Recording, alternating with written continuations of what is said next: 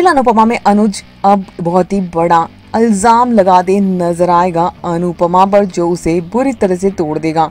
आने वाले एपिसोड में देखने को मिलने वाला है वनराज और अनुपमा। इस बच्चे में इतना खो जाएँगे कि ना अनुपमा को इतना टाइम मिलेगा अनुज के लिए, ना ही छोटी अनु के लिए, जो कि अनु से बिल्कुल बर्दाश्त नहीं होने वाला है।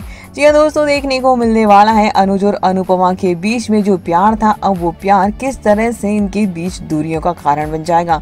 अब अनुज को बार बार ये बात बिल्कुल पसंद नहीं आएगी कि अनुपमा वनराज के पास जाती है और वहीं पर वनराज इतना ज़्यादा सॉफ्ट हो चुका है कि वो अनुपमा की रेस्पेक्ट भी करने लगा है और अनुपमा पर विश्वास भी करने लगा है।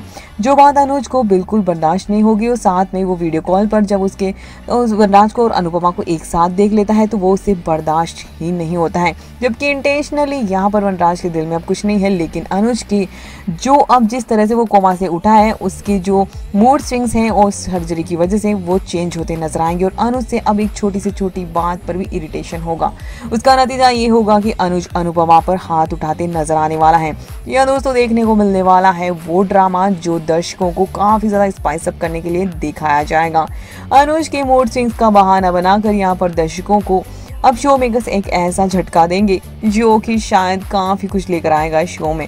देखने को मिलने वाला है, अनुज यहाँ पर ये सब कुछ बर्दाश्त नहीं करेगा और अनुपमा का वहाँ पर बार बार जाना भी उसे बर्दाश्त नहीं होगा, जबकि किंजल की सिचुएशन काफ़ी कॉम्प्लिकेटेड होगी और पारितोष और कोई भी और ऐसा नहीं होगा जो उसका ध्यान रख सके। तो देखने को मिलने वाला इस छोटी सी बच्ची की पूरी ज़िम्मेदारी अनुपमा पर आएगी और यही वजह होगी कि अनुपमा साफ़ परिवार के ज़्यादा साथ टाइम स्पेंड करने वाली है और वनराज और अनुपमा को साथ देकर अनुज का गुस्सा इस तरह से बिखरेगा कि वो उस पर चरित्र पर ही सवाल उठा देगा कि अगर तुम्हें बार बार वहीं पर जाना है तो हमेशा के लिए वहीं चली जाओ।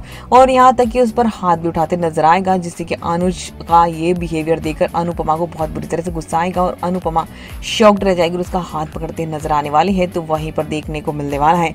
अब कैसे अनुपमा इन दोनों सिचुएशन को फेस करती है और हैंडल करती है और कैसे अनुज को रियलाइज़ करवाती है कि उसने गलत सिचुएशन में गलत रिएक्शन दे दिया है। काफ़ी कुछ दिलचस्प आगे हाई ट्रैक देखने को मिलने वाला है शो में। वाला आप लोग कितना एक्साइटेड है इसे देखने के लिए कमेंट करके ज़रूर बताएँ।